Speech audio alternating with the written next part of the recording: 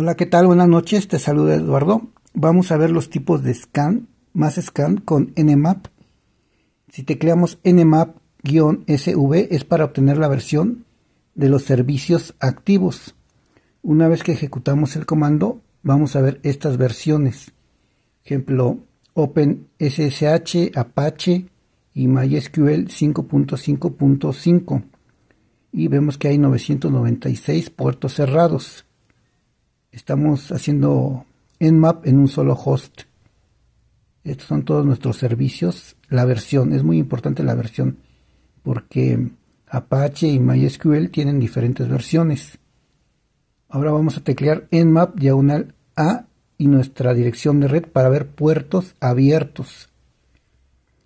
Todos los puertos que tenemos abiertos, vemos aquí cuáles responden, ya lo vemos más específicamente el 3306 de MySQL Server, el 22 y el 80. Estamos utilizando Apache como servidor web.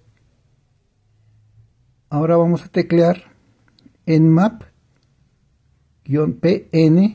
Esto es para descubrir directamente sin hacer ping, o sea, sin estar esperando a que respondan las demás direcciones, sino es directamente hacer un scan al host sin hacer ping a toda la demás red.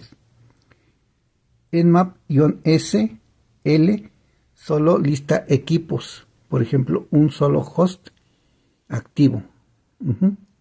Este es muy sencillo. Ahora vamos a poner nmap-F y esto se limita a los primeros 100 puertos. O sea, recuerden que hay muchísimos puertos. Aquí vemos 97 puertos cerrados y 3 puertos que están abiertos no nos está dando versión. Ahora vamos a teclear nmap-b para ver si está vulnerable a un ataque a un servidor FTP.